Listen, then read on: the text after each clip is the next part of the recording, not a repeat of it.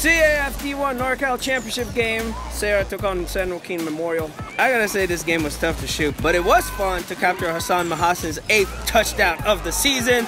He's a sophomore, 7-0 Serra. Number 74, Nate Azzopardi, made a huge block downfield on that play. Shout out to him. Next possession for San Joaquin Memorial. Complete pass to four-star Washington Huskies commit Jalen McMillan. Stripped by three-star Washington Cougars commit Jackson Lataimua. David Silk with a silky smooth recovery on the very next play. Check this out. Sophomore QB Dominique Lampkin looking like Deshaun Watson right here. 51 yards to the crib. Serra Padres up 14 zip. Panthers would answer right back to cut the lead in half.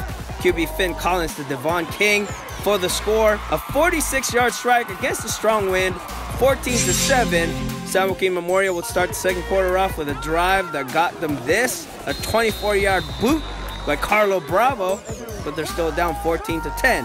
Closing seconds of the half. Playmakers make plays. Collins to McMillan, but Damon Lewis says, uh-uh, not in my house. Score remained 14-10 at the half. That was a huge play by Lewis.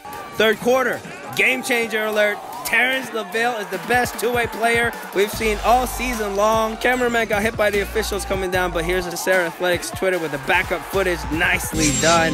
Serra won the third to make it 21 to 10. Fourth quarter, Panthers. Jordan Hornbeck touchdown that narrowed the gap 21-16.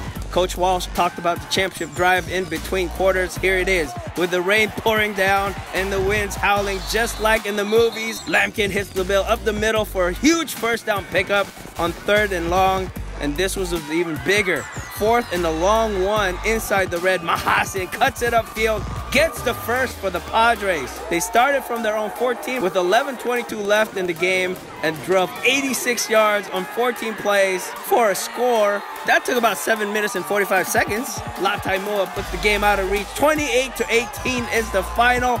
Serra is going back to state. They'll take on Corona Del Mar next Saturday. Their third appearance in four years.